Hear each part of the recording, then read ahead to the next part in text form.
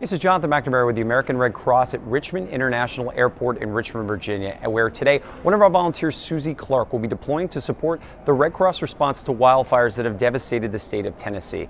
And I had the pleasure of talking to Susie before she took flight to understand why she deploys for the American Red Cross, but also to learn what she'll be doing on the ground when she arrives in Tennessee.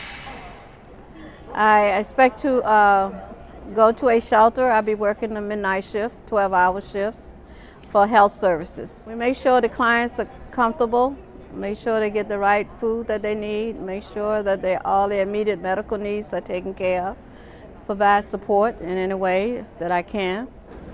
I started out in 2005 with Katrina and uh, I got kind of hooked on Red Cross.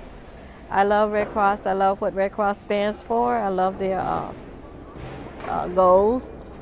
And uh, I guarantee you, if you go out on a deployment and try it, you'll get hooked just like I did.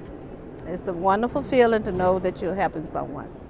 To learn more about the American Red Cross response to wildfires in Tennessee or to make a donation to support Red Cross disaster relief, visit redcross.org. And as always, follow us on Twitter, Facebook, and Instagram at VA Red Cross.